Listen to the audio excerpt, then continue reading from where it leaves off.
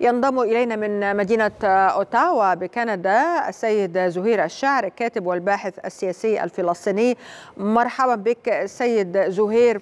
هل تعتقد سيد زهير إذا في خضم هذه الحالة التي تتصف بالجنون حربيا في قطاع غزة من قبل جيش الاحتلال بأنه قد يكون هناك فرصة للتهدئة ولعمل هدنة أخرى في الأيام القادمة؟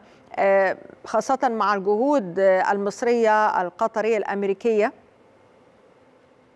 يعني هو وصف الحرب المجنونة لربما يكون قليل جدا على هذه الحرب الهمجية والدموية وغير المسبوقة بحق المدنيين الفلسطينيين. ولكن يبقى الأمل موجودا عندما يعني تشتد أو أو تحافظ على قوتها الجهود التي يبذلها جميع الأطراف وعلى رأسهم الطرف المصري والطرف القطري وذلك برعاية أمريكية حيث أن جميع الأطراف تدرك بأنه لا بد من وقف نزيف الدم الموجود.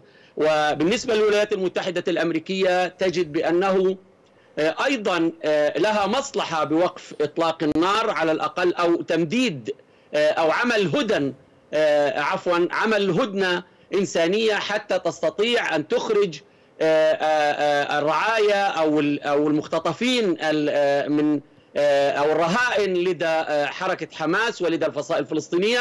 وبالتالي كل ينظر إلى الأمر حسب ما يراه على الأرض بالطبع بالنسبة لمصر وقطر تحرصان على عدم استمرار نزيف الدم الذي ينجم عن هذا هذا العدوان الهمجي الذي نعم تمارسه ونتيجة لنزيف الدم هذا صحيفة وول ستريت جورنال سيد زهير نقلت عن مسؤولين أمريكيين بأن الضغط الدولي وحجم الضحايا قد يجبران الجانب الإسرائيلي لإيقاف هذه الحرب على مطلع العام المقبل هل تعتقد بهذا الأمر؟ يعني لربما أن أن ال ال ال الضغوطات الدولية تساهم في ذلك ولكن أيضا إسرائيل لديها حسابات في هذا الأمر خاصة أن الجامعات والحياة يعني متطلبات الحياة داخل إسرائيل تتطلب تتطلب استقرارا امنيا داخل إسرائيل هذا من جهة. وأيضا الضغوطات الداخلية هي التي لها الأثر الأكبر على حكومة الحكومة المتطرفة التي يرأسها نتنياهو والمتطرفين معه في هذه الحكومة. لذلك في تقديري أن الضغوطات الداخلية من من من أهالي المختطفين يعني بالأمس لاحظنا عشرات الآلاف من المتظاهرين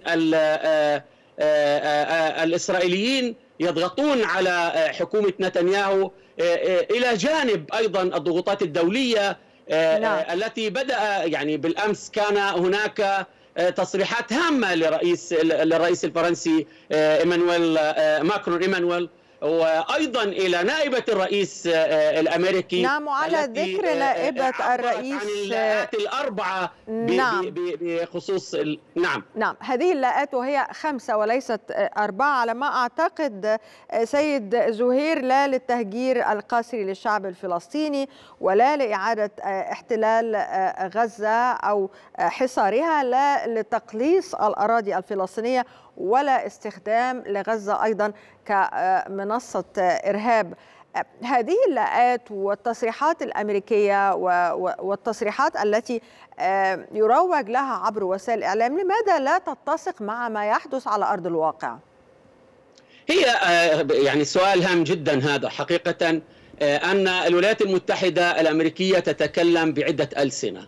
هذا اللسان الدبلوماسي التي عبرت عنه نائبة الرئيس الأمريكي كان واضحا وكان صارما.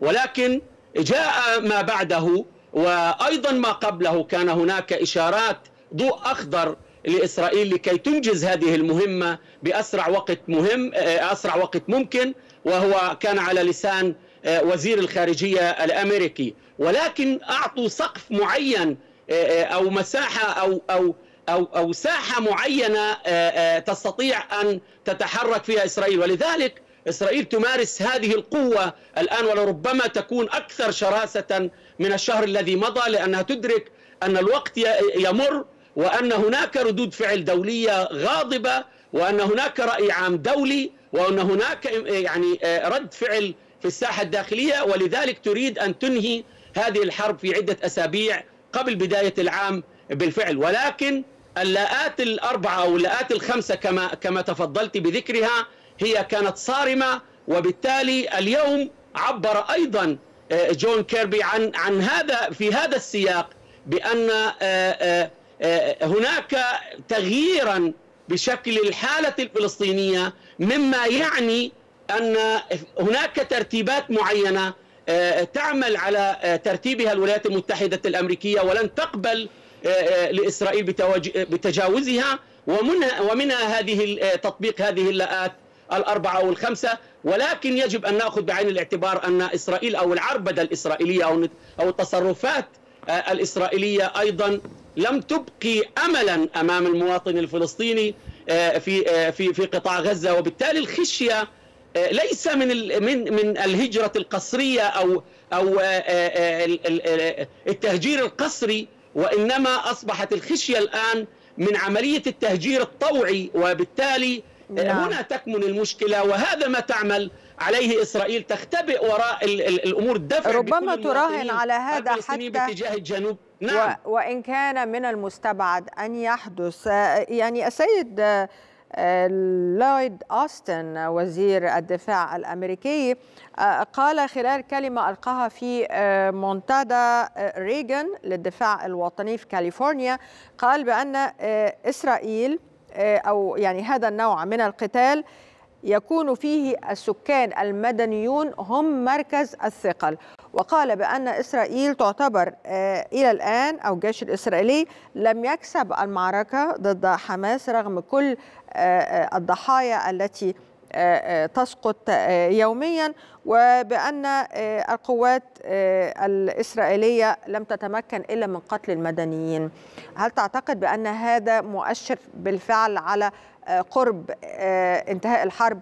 السؤال أيضا يعني كيف يمكن الحكم على هذه الحرب إذا ما كانت نتيجة هذه الحرب إذا ما كانت قوات الاحتلال قد فازت بالفعل في تحقيق أي نتائج إيجابية لها أو تحقيق أهدافها أم أنها لم تستطع أن تصل إلى شيء سوى الدمار.